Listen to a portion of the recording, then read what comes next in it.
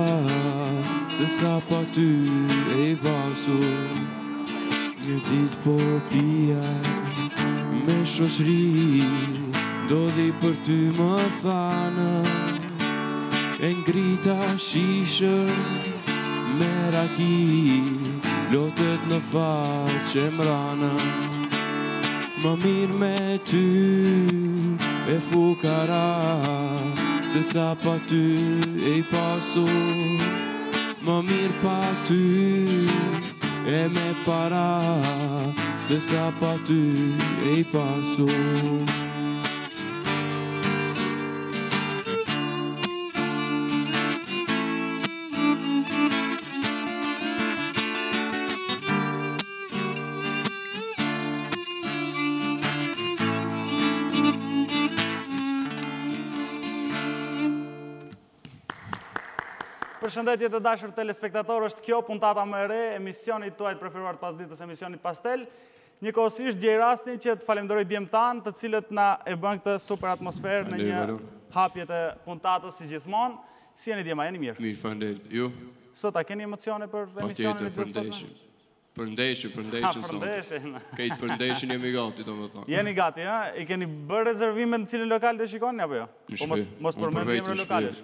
A, në shtëpi, okej. Po. Dakord. Te shpia. Kush mendoni që do fitojë sot? Shdo një. Normale. Sa është rezultati përfundimtar? Një zero, apet. Një me zero. Si të nëjto. Kryesorja të shkojmë edhe penallti të jetë. Të, po, shkojmë në Katar. Kryesorja me vazhdu.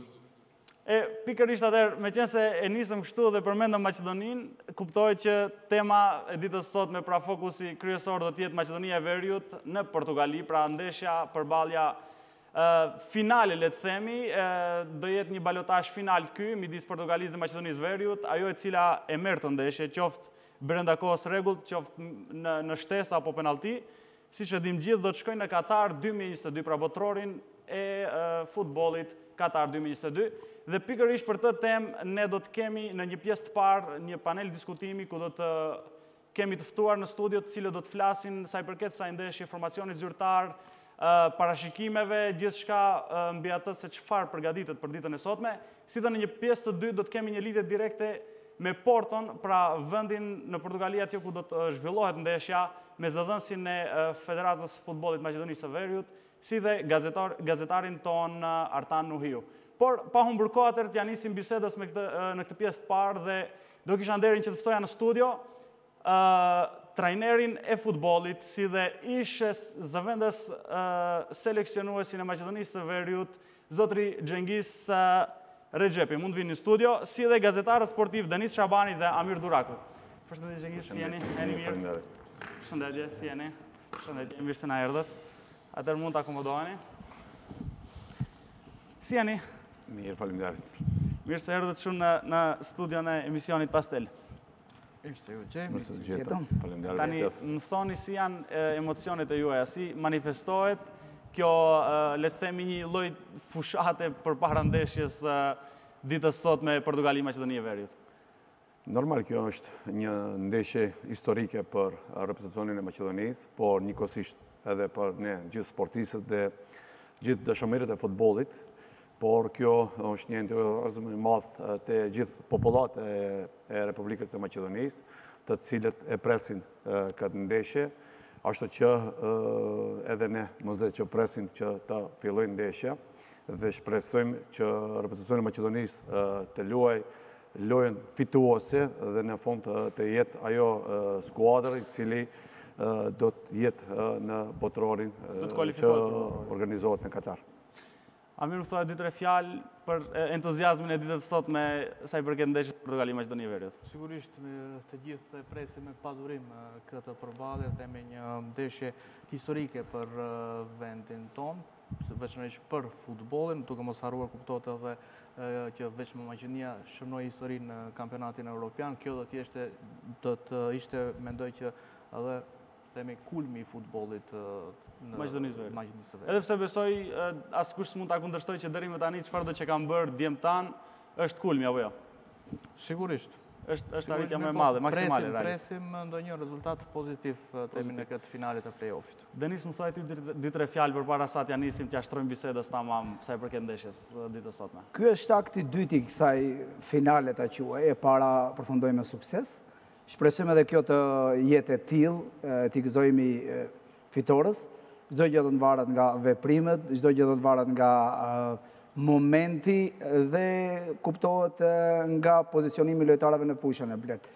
Të shpresojmë që të kalojmë mirë 20 minutat e para, unë mendoj qoftë se i kalojmë 20 minutat qetë, besoj që do të shkojmë njëjtë sikur përballë Italisë dhe të kalojmë në Katar. Tani më thoni, si e shikoni ndeshjen e ditës së sotme? Është më e vështirë se sa ndeshja me Italinë apo jo? Padyshim, është ndeshje më e rëndë, duke parë cilësinë e Portugalisë, duke parë individualitetin e lojtarëve që ka skuadra portugeze, duke parë grupin që vërtet janë lojtarë të cilët luajnë vite të tëra bashkë dhe me një Ronaldo të kesh në formacion, një Jota dhe një Fernandes e të tjerë, Mund të themi që është skuadër mjaft cilësore, në letër figurojnë emra, por besoj që skuadra jonë, seleksionuesi ka gjetur të themi atë metodologjinë apo atë skemë të lojës duke ditur karakterin e tij dhe Si duket ndeshja përballë Italisë u ka dhënë shumë kurajo dhe entuziazmin, s'kemi ç'të humbasim këtu, unë besoj që do të vrapojnë nëntëdhjetë minuta të shpresojmë dhe të në fund buzëqeshim. Tani Xhengiz më thuaj pak sepse ju keni qenë pjesë edhe Evropianit dhe më mirë se sa ju që e dini sistemin se si funksionon le të themi ky një organ në tërësi, çdo lojtar në veçanti brenda, askush tjetër nuk e di më mirë se sa ju. Më thoni si e shikoni nivelin e Maqedonisë së Veriut tani për këtë ndeshje të ditës sotme? Te pjesa e play-offit momentalisht. Mirë, sa i përket në futboll, çdo herë shikohet ndeshja e radhës, edhe ndeshja ma kryesore e Maqedonisë ndeshja ndaj Portugalisë, Por duke patur parasysh që Maqedonia ka një përvojë të madhe, ne kemi lojtur si reprezentacion ndeshje shumë vendimtare, njëherit për në Evropian jemi përmballur me Kosovën dhe Gjeorgjinë, që kanë qenë ndeshje gjysmëfinale, finale ku a dashur që ato ndeshje t'i kalon dhe njëkohësisht të marrësh pjesë në Evropian. Mandej Evropiani është një një një turne në vete ku të jep shumë përvojë. Mendoj që ne si reprezentacion prej asaj normal që kemi pasur rezultate negative në Evropian, por kanë përfitu përvojë të madhe gjithë futbollistët, stafi teknik, Kemi parë në Evropian një kulminacion të lartë, ku na ka shërby që në vitet e ardhshme, ne si reprezentacion, edhe si trajnerë futbolli, por edhe futbollistë të përvetësohemi, prandaj e shoh atë qetësinë te skuadra që ishe në ndeshjen me Italinë, Mendoj që momenti kyç i fitores ndaj Italisë ka qenë qetësia e skuadrës ku e ka menaxhu ndeshjen nga minuta e parë deri n'minutën e 94-95 edhe kundër një Italie cili ka qenë kampion i botërorit të evropianit të fundit që është shumë rëndë të përmballesh ndaj Italisë edhe të shënosh fitore. Por gati gjithë futbollistët janë në formë të mirë. Normal që një dy futbollistë kanë pasur lëndime, por unë shoh një skuadër ku ka qetësi, ka vetëbesim dhe me atë vetëbesimin duhet ta nisin dhe ta mbarojnë ndeshjen ndaj Portugalisë, pavarësisht rezultatit final, cili do të jetë, unë mendoj të gjithë Futbollistët meritojnë lavdata të mdhaja, se nuk është lehtë të përmballesh me Italinë dhe me Portugalinë, për shkak që përflitet për reprezentacione të cilët janë në kulminacion, ku pjesa dërrmuese e futbollistëve të Italisë dhe Portugalisë luajnë në liga elitare dhe udhëheqen nga seleksionuesit shumë të kalibrit të lartë, ashtu që pres një... Prandaj pres një ndeshje ku futbollistët tanë do të japin gjithë nga vetja. Besoj që shumë futbollistë edhe nuk e kanë kalu edhe natën aq mirë, për shkak që edhe unë kam qenë pjesë e reprezentacionit 4 vite dhe në këta ndeshjet shumë të rëndësishme mendon se fle, por realisht e kie shumë rëndë ta qetësësh vetëveten, për shkak që Kie botërorin 90 apo 120 minuta larg vetes, por edhe mund të edhe penalltitë të vendosin për fituesin, ashtu që unë përzemërsisht dëshiroj që Maqedonia ta kalojë Portugalinë dhe të luajë në botëror, për shkak që djemt e reprezentacionit të Maqedonisë, federata në tërësi me krye me kryetarin Muamed Sejdini meritojnë një gjë të tillë. Tani, Xhengis, dua të të ngacmoj pak. Italia kampione Europe. A mund të quhemi ne tani si kampion Europe meqenëse fituam Italinë? Një përballje direkte. Po, realisht, më pëlqeu deklarata e Enis Bardhit, pasi që tha nëse e fitojmë Portugalinë, realisht nuk kemi nevojë të shkojmë në botëror. Mendoj që është fjalë me vend dhe një interpretim shumë profesional ndaj tij, për shkak që nëse fiton Italinë dhe Portugalinë realisht në botëror me skuadra ma të forta, problemi i kie të ndeshesh. Por normal që këto janë fjalë ngacmuese nga gjithë futbollistët. Edhe ato do të dojen që sot ta fitojnë Portugalinë edhe të luajnë në botëror, por Maqedoninë e pret një ndeshje ma të rëndë se sa Italia. Mendoj që Italia ndeshjen ndaj Maqedonisë nuk e kanë marrë shumë serioz dhe ajo joserioziteti i Italisë i ka kushtuar shumë tejmase të madhe për të ardhmen e Italisë si organizacion, por tash mendoj që Portugalia shumë ma seriozisht do ta marrë ndeshjen nga minuta e parë dhe Maqedoninë me të vërtetë nuk e pret ndeshje e lehtë në këtë takim. Xhengis, a mund ta quajmë këtë ironi të fatit të ndeshesh me kampionin aktual europian dhe me ish-kampionin europian Portugalinë? Domethënë të dy kryesorët, ato që kanë fituar europianet e fundit, të të bien në play-off ose siç e quajmë balotazhe. Mirë këta balotazhat janë ndeshje ku me të vërtetë mund të ketë befasi, siç patë në ndeshjen e parë, por është një fat i madh mendoj për futbollistët, një fat i madh për shtetin e Maqedonisë, për shkak që të njef gjithë botë. Dhe Maqedoninë për momentin të gjithë flasin për befasinë që e ka bërë Maqedonia. Realisht në ditën e sotme nuk ta respektojnë shumë e shumë edhe lojën. Për shembull nuk bisedohet askund se si Maqedonia ka kalu zonat me pasimi apo me top djat. Realisht të gjithë flitet për befasinë që e ka bë skuadra e Maqedonisë. Ashtu që Jetojmë në një botë ku edhe neve si trenjerët, po seleksionuesit, por edhe kryetarët e federateve apo kryetarët e klubeve vetëm sukseset të mbajnë në atë pozitë, ashtu që mendoj në pozitivitetin e rezultatit, kjo është një nder e madhe që do e kenë futbolistit përpara, Besoj që shumë futbollistë të reprezentacionit të Maqedonisë pas këtyre dy ndeshjeve do të bëjnë transferime shumë të mira në në skuadra të forta. Tani, Amir më thuaj vetëm pak sa i përket rikthimeve të mungesave, sepse dim që në një Itali kishim mungesë si Elmas e lojtarë të tjerë. A i shikojmë një Maqedoni më të fuqishme tani në kundrejt Portugalisë, nga ajo që ishte me, me Italinë. Sigurisht duke e ditur pra themi potencialin e Elif Elmas ku luan në klubin e tij në Napoli, pa dyshim që do të jetë një përforcim shumë më i madh kundrejt që ishte mungesë në përballjen me Itali me Itali.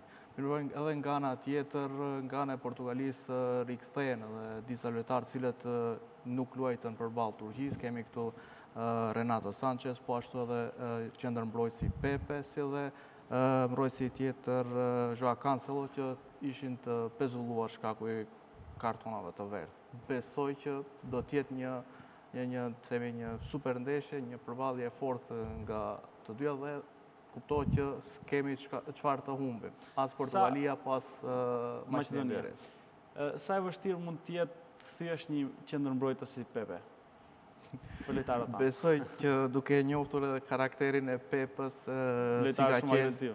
Nëse i kalon topi mirë, po lojtari besoj që s'do të kalon këtë rast. Ashtu që do ta kenë vështirë. Okej.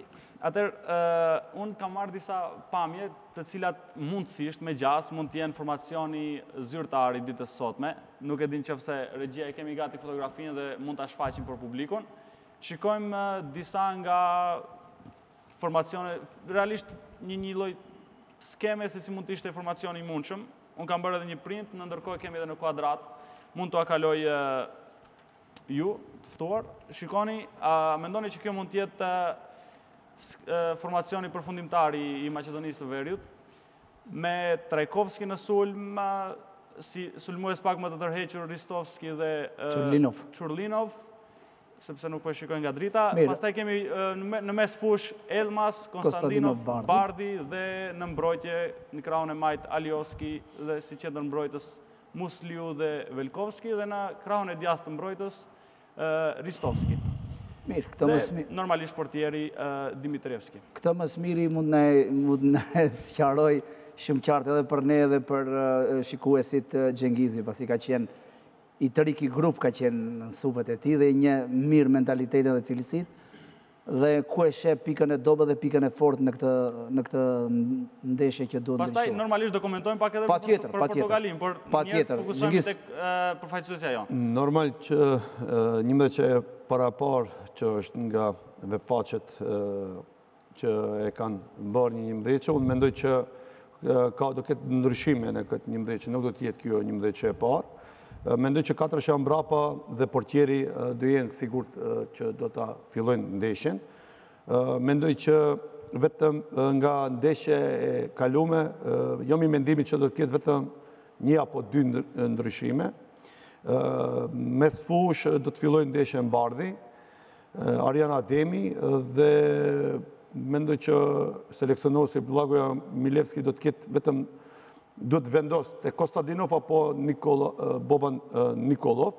Kostadinov apo Boban Nikolov do, do ta fillojë ndeshjen. Në anën e sulmit, mendoj që Do të ketë edhe këtu një ndryshim, apo të e fillojë ndeshjen Trajkovski në sulm me Çurlinov edhe Elif Elmas, apo do të shkojmë Ristovski në sulm Trajkovski me Elif Elmas. Nuk do të ketë ma shumë prej një apo dy ndryshimeve. S'besoj që do ta prishë njëmbëdhjetëshen e parë, duke patur parasysh që Arjan Ademi besoj që do ta fillojë ndeshjen, pasi që përflitet për një luetar që pakontestushëm është një ndër më i miri në mesfushën e Maqedonisë, dhe duke patur parasysh që Arjan Ademi ka shumë ndeshje të tilla në këmbë dhe do të jetë një ndër faktorët ma kryesor për mesfushën e Maqedonisë.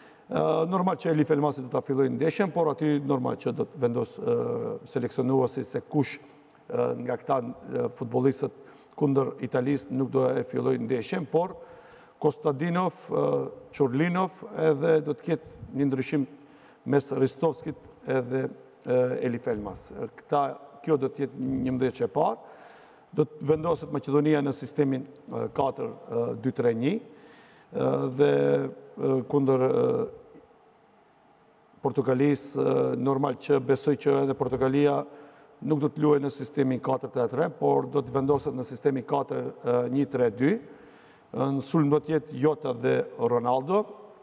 Mendoj që seleksionuesi I Maqedonisë mund të edhe Arjan Ademin me Boban Nikolov apo me Kostadinov të luajë direkt te sulmuesit te Jota dhe Ronaldo që këta dy futbollistë ofensivë, të cilët janë shumë të rrezikshëm, të jenë sa ma larg mbrojtjes së Maqedonisë, por normal që atëherë që si skuadër do të tërhiqet Maqedonia deri në zonë të dytë, por Edhe mund të ret deri të futemi te zona e parë, për shkak që përmballë kemi një skuadër që është si Portugalia, është skuadër e fortë. Stili i lojës i Maqedonisë do t'i ngjajë asaj ndaj Italisë, jo se don, por përmballë kur ke skuadër si Italia, si Portugalia, të detyron. të gjindesh në zonë të dytë apo në zonë të parë dhe do të shofim shumë transformim të shpejtë nga Maqedonia, domethënë do jetë loja kaluese në çdo moment nga ana e Maqedonisë, por sot pasi e fillon ndeshjen Elif Elmas, do të kemi një avantazh plus pasi Elif Elmas është një futbollist që e bon lojën kaluese shumë mirë, por edhe në anën e kundërt din ta mbajë topin në zonë të tretë, ku si skuadër sot do të kemi shumë nevojë nga Trajkovski, nga Elif Elmas, që ta mbajmë sa ma tepër topin në zonën e tretë të Portugalisë dhe njëfarë mënyre edhe ta qetësojmë lojën, por edhe të pushojnë mesfusha dhe mbrojtja. Tani më thoni sa do jenë lojtarët realisht më të çliruar nga ndeshja e kaluar dhe sa do e kenë mundësinë që të bëjnë ndoshta më shumë gjuajtje sepse siç e dimë në ndeshjen me Italinë patën vetëm dy gjuajtje dhe njëra për fat të mirë përfundoi brenda rrjetës dhe bëri që Maqedonia të kualifikohet për raundin e dytë final për këto play-offet e botërorit. Mendoni që mund të kemi më shumë gjuajtje? Më shumë sulm. Jo, Xhengisi mund ta thotë, po unë desha të ndërlidhem te formacioni. Dakord.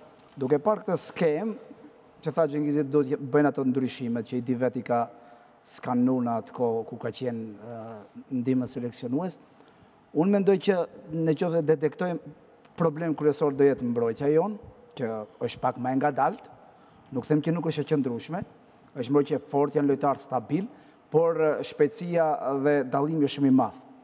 Është një një uragan i vërtetë Ronaldo Jota që të ndalësh këta lojtarë. Do mundohen me Ristovskin dhe Aliovskin sa do pak që të ndalin hovin me ato topa horizontal dhe vertikal. E, ky është problemi kryesor që do jetë joni sonte dhe sulmuesi. Nuk kemi sulmues klasik. Mungon një Goran Pandev, i cili edhe pse në moshë ishte lojtar që që mban ka vlerë të madhe dhe lojtar i cili duhet ta ruajnë më së paku dy lojtarë në qoftë se sidomos në zonën e rrezikut. Dhe këtu këtu ishte avantazhi i Maqedonisë në momentet e kundërzbritjeve, do kisha thënë Xhengiz. Në momentet e kundërzbritjeve një lojtar lirohet, derisa i jep topin Pandevit, lojtari anësor i djathtë apo i majtë ka mundësi të transferohet në zonë që të sa do pak të bësh një një aksion të shpejtë dhe në raste të tilla dhe kemi arritur ndeshje të fitojmë. Ndërkaq unë mesfushën e shoh që kemi një mesfushë shumë stabile, E kam thënë edhe në emisionin e parë që Arjen Ademi është i pazëvendësueshëm, por siç tha edhe Xhengizi Nikollov, edhe ai ka përvojën e duhur. Elmas që po rritet dalngadalë, edhe pse i duhet kohë, unë e shoh pak është pak më i lazdruar në fushën e lojës, por Milevski sa do t'i japë hapësirë që të godasë, Ajo do varet çdo gjë edhe nga hapësira që ta jep trajneri. Më së miri mund ta thotë këtë përgjigje Xhengizi pasi që lojtarët duhet të respektojnë urdhërat e trajnerëve. Po do të ndërlidhem edhe unë me Denisin. Për momentin Maqedonia edhe pse luan me Ristovskin, por Ristovski është një sulmues i ri, por që ka që ka ambicie shumë të mëdha si si futbollist. Në ato momente ne kur kemi luajtur ndeshje të tilla, kemi luajtur në sistemin 3-5-2 për shkak që Pandevin mos e lodhim shumë dhe në ato momente kur kemi shumë presion, një farë mënyre apo e kemi bo lojën kaluese me pas lojë, apo me top gjatë, e kemi luajtur deri te Goran Pandevi, ku Goran Pandevi e dim që ka qenë shumë futbollist cilësor dhe është, E ka mbajtur atë topin përpara dhe njëkohësisht afër te kemi luajtur një futbollist si Nestorovski apo në momentin ky që kemi luajtur ndonjë futbollist tjetër që ka vrapu, por prej Goran Pandevit kemi kërkuar çdo herë që ta mbajë topin sa më gjatë, sa më gjatë përpara dhe ta ta shpërndajë topin në në krahun e majtë, krahun e djathtë që me bekët, me Xhani Aliovskin dhe Ristovskin kemi bërë transformim të të shpejtë. Por tash me seleksionuesin Bobi Milevski, pasi që çdo seleksionues dhe trajner ka metodat dhe stilin e lojës, luan në sistemin 4-2-3-1 dhe për momentin për fat keq Maqedonia ka në dispozicion këta futbollistë dhe përvoja që nuk e ka tepër Ristovski është pak problematike për ta mbajt atë topin përpara për shkak që luhesh me stoper mbrojtës, stoper të cilët luajnë në ligat shumë të forta, Italisë apo Portugalisë dhe sot me të vërtetë sulmuesi ka shumë detyrë të rëndë ta mbajë topin përpara. Sa i përket gjuajtjeve, sonte normal që çdo trajner kur mrrin te 16 apo 20 metrëshe kërkojmë nga futbollistët që të gjuajnë Por sonte do të vendosë se Portugalia se sa do na lejojë neve të afrohemi te gjashtëmdheça. Nuk është statistikat se sa herë ke gjuajtur. Në anën statistikore, Italia ka gjuajtur 14 herë, mos gabojsha, por Maqedonia ka goditur 2 herë dhe ka shënuar gol. Ashtu që është ajo preciziteti i gjuajtjes se sa të gjuajsh në mënyrë jo të mirë.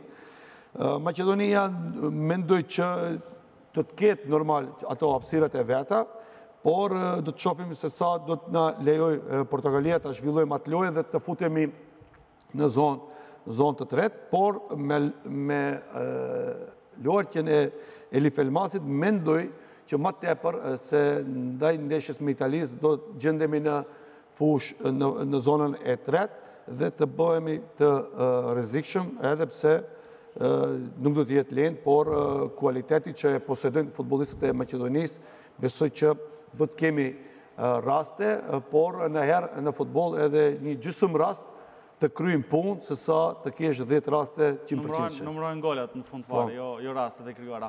Atëherë, Amir më thuaj, a mund të ishte ky formacioni më i frikshëm që mund të kishte Portugalia për Maqedoninë e Veriut? Po, nëse e shofim këtë formacion, besoj që pak a shumë është i ngjashëm, nëse eventualisht tani në pres konferencën e fundit u diskutua që përballë Fontes do të jetë si startues Pepe, këtë rast Njëmdhjeça e parë më e forta mesfushën e shofim që kemi një Fernandes, Mutinjo dhe Silva. Besoj që këtu s'duhet të diskutojmë më shumë. Kemi dyshime për... Nga ana tjetër, mjafton vetëm prezenca e Ronaldos, besoj që do të jetë Shumë një informacion i rrezikshëm për vendin tonë. Për përfaqësuesen tonë. Atëherë, tani, jemi drejt fundit pjesës parë, unë do doja që të kisha një kështu nga një përqindje, sa e kemi përqindjen për të fituar kundrejt Portugalisë, dhe nga një rezultat final nga secili nga ju, një parashikim tuaj, një kështu, me hamendje.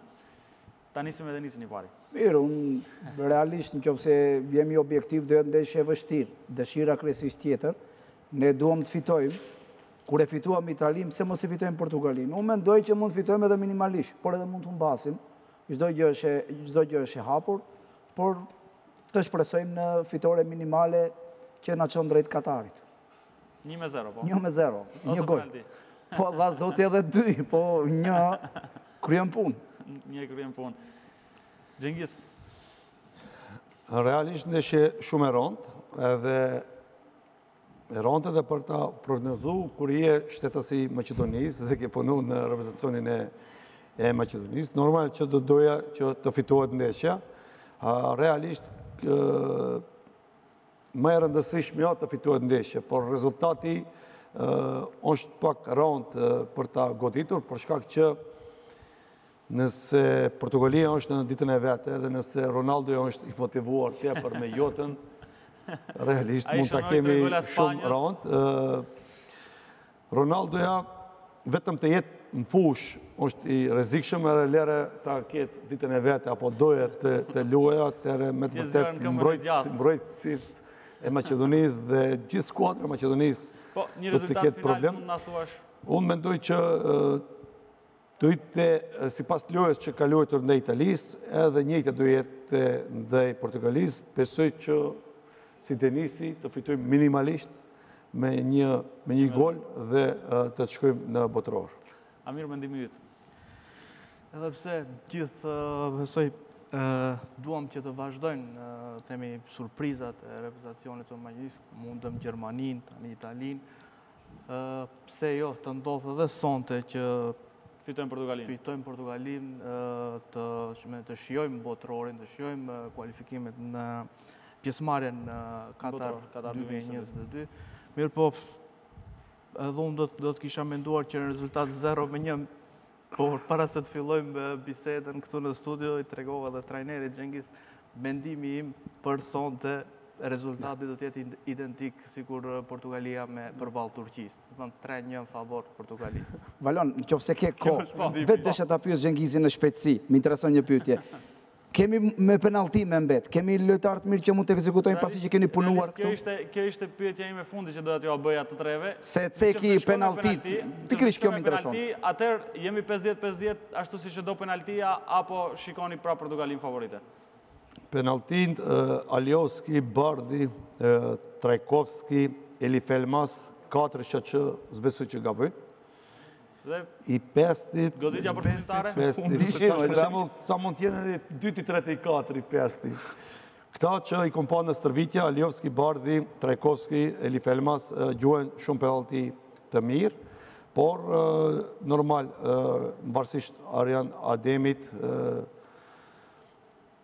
Velkovski është i qetë, mund të shutojë edhe Velkovski, por ka edhe në bankinë futbolistë të cilët mund të futen në lojë edhe ata mund të shutojnë, por nëse ngelin këta futbolistë në në ndeshje deri minutat e fundit, besoj që kjo katërshja do të jetë sigurt, por i pesti marrësisht... Zakonisht që e keni përdorur për goditjen e fundit të pestë? Realisht... Xhani. Xhani Alioski i merrte vetë, jo, nuk ua lente atyre tjerëve, i merrte vetë.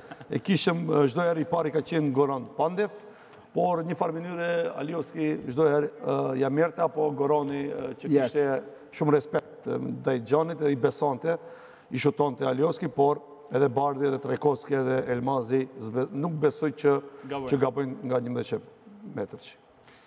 Ok atëherë dakord, s'na ngelet gjë tjetër veçse t'i urojmë suksese Maqedonisë dhe ta shijojmë fitoren e ditës së sotme dhe pse jo Katar 2022-shin. Unë ju falenderoj jashtëzakonisht shumë që ishit pjesë e puntatës së ditës sotme dhe uroj që të takohemi përsëri pas fitores së Maqedonisë me Portugalinë. Shpresoj. Faleminderit. Faleminderit për ftesën. Atëherë të dashur shikues, kjo ishte çfarë kishim përgatitur për një pjesë të parë, për këtë pjesë të parë të emisionit Pastel, do të shkojmë me disa minuta hapësirë publicitare dhe do të rikthehemi përsëri në një pjesë të dytë, ku do të kemi një lidhje direkte nga Porto e Portugalisë me zëdhënësin e Federatës së Maqedonisë së Veriut dhe gazetarin tonë Artan Nuhiu. Vazhdoni qëndroni me ne.